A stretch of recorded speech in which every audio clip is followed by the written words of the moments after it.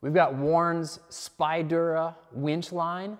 This specific Warn line is the Spydura synthetic Nightline product. That's the reflective piece. When you look at it, you'll see the red and black braids. That's the Spydura component of this line. But there's a light gray, which in the camera doesn't show very well, but in the dark with a headlamp, this light gray line is just a reflective line. It doesn't add strength. It's not about strength. It's about being able to see it, which is what makes this the Spydura Nightline synthetic rope. Now, why synthetic in the first place?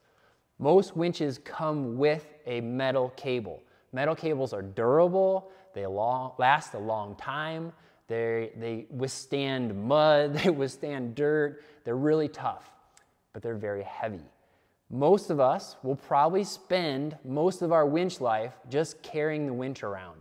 So by dropping your metal cable and replacing it with a synthetic cable, you're saving a lot of weight on the front end of your vehicle.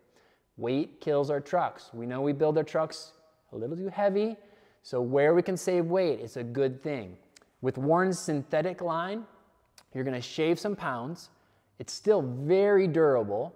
You will have to treat it differently than a metal cable, but it will still work as intended as a winch line. Another benefit of losing the steel winch line and going to synthetic is it's less springy.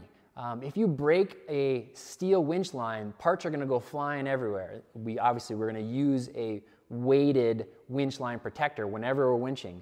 But in that case where that winch line does break and things start moving, a synthetic line has less mass and less springy than steel. It won't bounce around or shoot all over the place. You can also, with this Warn, it comes with a forged hook, which works great, is fully rated, but it's really also easy to replace. If you have a fancy winch hook that you like to use on your truck, you can replace this very easily with a different winch hook. A couple things you'll need to learn when you use a synthetic winch line.